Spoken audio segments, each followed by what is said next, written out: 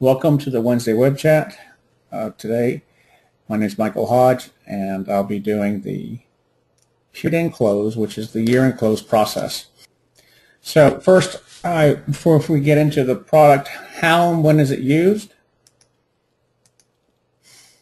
Uh, it, it's used um, to basically, if anyone here is not in accounting, it's used to take your net profit and loss and move it to your balance sheet. Every year uh, we do this. So you have to take your total net earnings and move it down to retained earnings on the balance sheet. And this is the process that clears all these accounts. When is it used? Well, the nice thing about this product or this functionality is you can use it more than once.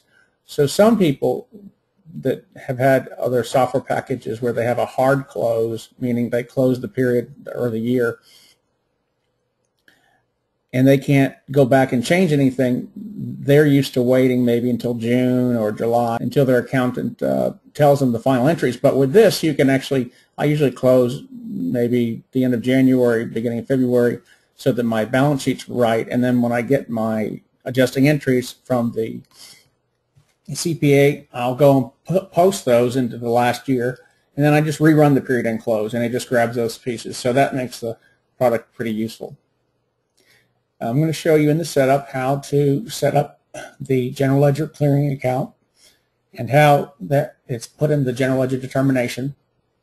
I'll show you the authorization that is needed to run if you're not a super user.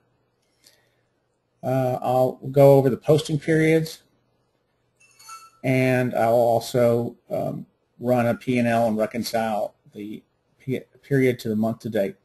So once we run the period uh, P&L, we're going to select the fiscal period to run.